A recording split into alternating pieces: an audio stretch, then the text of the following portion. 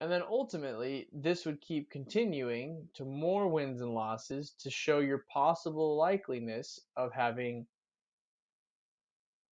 your game three. Now, this may look a little bit confusing, and typically you wouldn't list out all of these events um, because you wouldn't need them all. Okay, so this is just an example, or this is game three, I'm sorry. So this is just an example of how you can make a tree diagram. If you notice these branches just kind of keep flowing and keep going. But for the event of this example, what's the probability that the good guys are going to win all seven games? You want to make sure that the good guys are going to keep winning. So here I'm going to have the good guys start somewhere. Okay. They play their first game. We know that they're going to win. According to this example, this problem, the probabilities that the good guys are going to win a game is 0.62%. So this win has a percentage or a probability of 0.62. We want this team to then win again, which also has another probability of 0.62. Then you would want them to win again.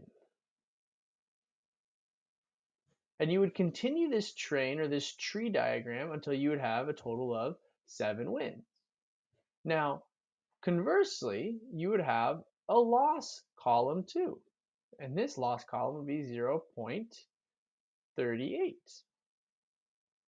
Now, some problems, they may say, um, they may give you a rabbit hole, you can say, of probabilities in which events would have to happen in that order. So in this case, let's say the good guys would have to win their first game, but then lose their second game. And then they're going to come back and then win their next game. So as you see here, if I'm looking at these different probabilities, I would follow the path in which my probabilities were given.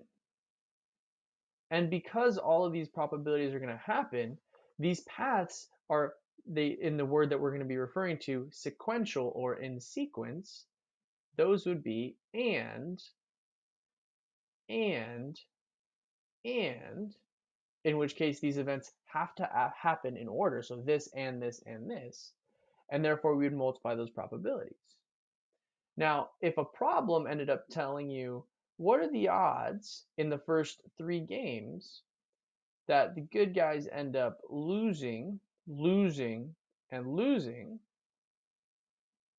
Three, eight. So I'm going to come down here for another loss. So what's the probability that the good guys lose, lose, and lose, or win, lose, and win? Here you see two different paths within this tree diagram. And between the two of these, this would be an OR statement because I can go down either path of this tree diagram. If I proceeded down only one path, I would be considering this as a product rule and multiplying those probabilities. But if I'm using two different branches of the tree diagram, I would be adding together those possible outcomes because I can either go down this route or I can go down this route, but I never can do both of them at the same time. So tree diagrams are really helpful when it comes to listing all of your events and looking at the possible outcomes. It makes it really fun to do. Um, I tend to organize mine like this with just using some, some letters and I like to make it nice and big on my paper. Um, but we're going to be able to work through some tree diagrams together as we continue through class this week. Okay.